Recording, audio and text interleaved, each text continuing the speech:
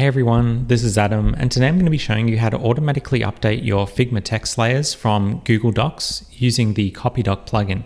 So to get started, all we need to do is click on the little resources icon here at the top of your Figma file.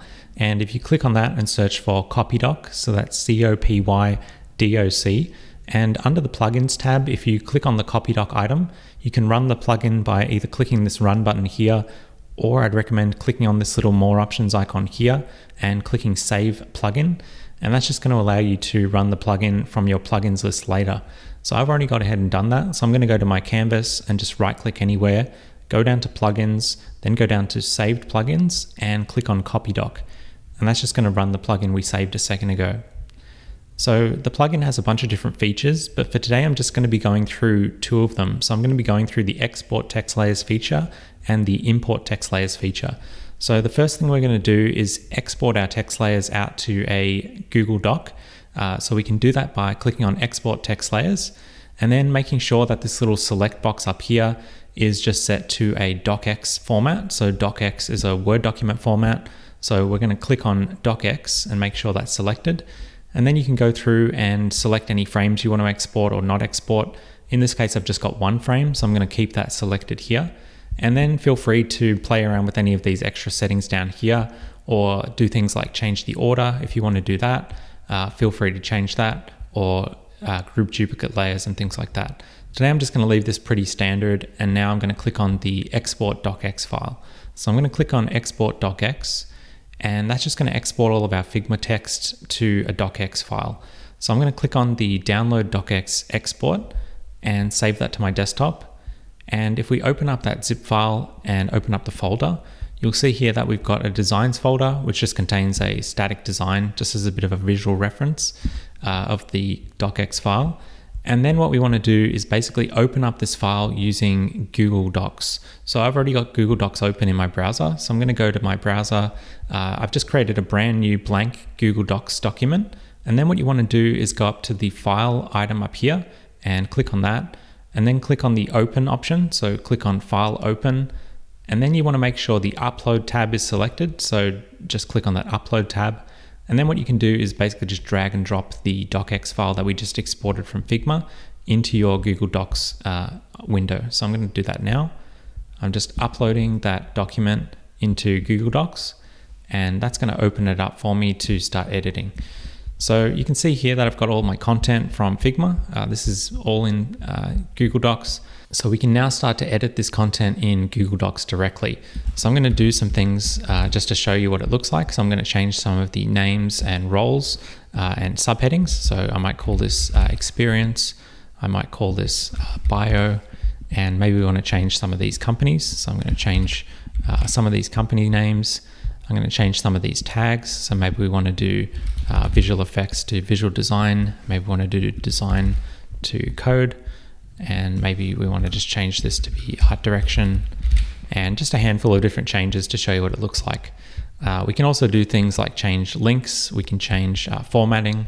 So for example, if we wanted to change some of the formatting in this lorem ipsum, we could do things like add some bold uh, formatting or italics formatting just to show you what that looks like. Uh, so that's a pretty good overview of a few different changes that we can make. And now just to show you what it looks like to re-import that content, what I'm going to do is now download this file from Google Docs back into a Word document. So I'm going to click on File, I'm going to go down to Download, and then I'm going to click on Microsoft Word or DocX in brackets. So if you click on the Microsoft Word option, that's just going to download the file to your downloads folder or wherever you've got your default downloads uh, saved to. So if you basically just open that up, so you can see here on my desktop, I've got the saved file from Google Docs that we just edited. So if I preview that, uh, you can see that the changes are in that file. So we've got the changed names, changed subheadings, uh, company name formatting. So that's definitely the updated file from Google Docs. So what we want to now do is go back into Figma. So I'm just going to minimize Google Docs. I'm going to go back into Figma, close off this little window and jump into the import text layers feature. So if you click on the import text layers button, this is going to allow us to re-import text updates to Figma. So I'm going to click on import text layers then I'm basically just going to drag and drop the file that we just saved from Google Docs, the updated file, just drag and drop that back into Figma. So just in this little drop zone here. And what that's going to do is load up some previews of the content that was changed. So you can see if we scroll through these, it's just showing some of the updates that are going to be made. These haven't been made in the file yet. It's just more a review uh, phase. So you can see what's been updated in the file before you approve them or update them in Figma. So I'm pretty happy with these changes. If you didn't want to include any, you can basically just uncheck those and those won't get included.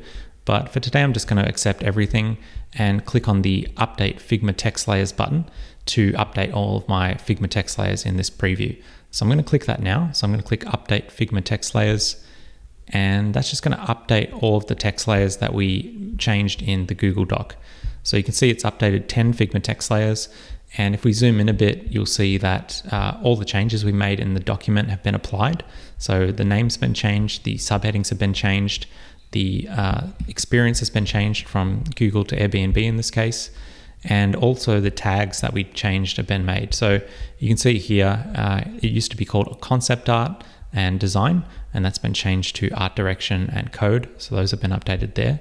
The formatting we added has been applied. So we've got the bold text and the italicized text here.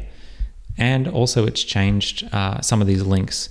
So because the link wasn't properly formatted before, it's just gone ahead and uh, formatted that. You could basically just remove that uh, if you didn't want to include that. So uh, I've just left that as is, but you could uh, move that around.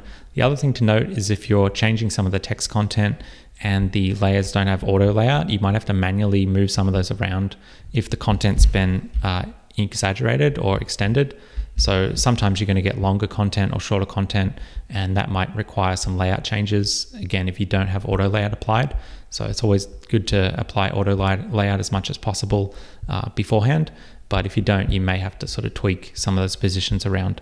Uh, but the main thing is you can update that content directly from Google Docs. So if you're working with someone who doesn't have Figma access, or if you're working with copywriters who prefer to do their copywriting in Microsoft Word or in Google Docs or using a docx file, uh, this is going to be a nice way for them to edit the content without having to deal with Figma or deal with uh, any of the design kind of uh, challenges that might pop up when they're editing text.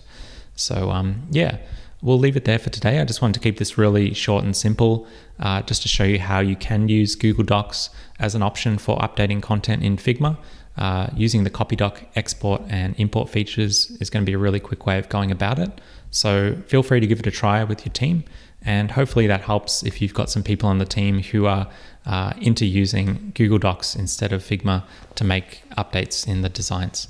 So we'll leave it there. Thank you as always for watching and we'll be back with more Figma tutorials like this one very soon.